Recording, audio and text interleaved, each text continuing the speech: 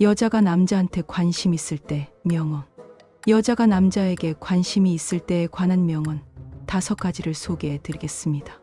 이 명언들은 사랑, 애정, 관심의 본질에 대한 깊은 통찰을 제공합니다. 사랑은 본질적으로 무엇인가를 주는 것이다. 아니, 자기 자신을 주는 것이다. 에리 프로. 사랑과 관심은 단순히 물질적인 것을 주는 것이 아니라 자신의 시간, 감정, 그리고 존재를 나누는 것을 의미합니다.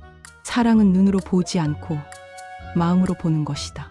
윌리엄 셰익스피어. 이 명언은 진정한 사랑과 관심이 겉모습을 넘어서는 것임을 강조합니다. 마음의 깊은 연결이 중요합니다. 사랑은 끊임없는 용서, 부드러운 눈빛, 서로에게 주는 자주적인 선물이다. 피터 어스킨. 이 명언은 관심과 사랑이 서로에 대한 이해와 용서, 그리고 부드러움을 포함한다고 설명합니다.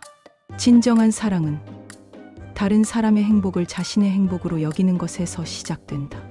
레오 부스카글리아. 사랑은 상대방의 행복을 중시하고 그들의 기쁨과 슬픔을 자신의 것으로 여기는 능력에서 비롯됩니다. 사랑은 우리를 변화시킨다. 우리가 사랑할 때 우리는 우주 전체를 사랑한다. 파블로 네루다. 이 명언은 사랑이 개인을 넘어서 확장되어 우리의 세계관과 관계를 변화시킨다는 것을 나타냅니다.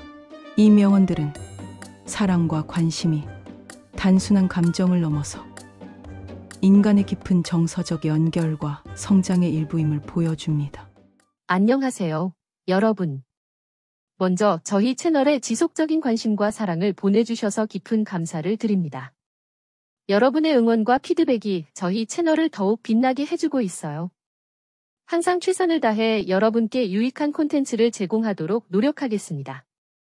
오늘도 여러분의 하루가 행복과 성취로 가득 차길 바라며 앞으로도 계속해서 저희 채널을 지켜봐 주시면 감사하겠습니다. 즐거운 하루 되세요.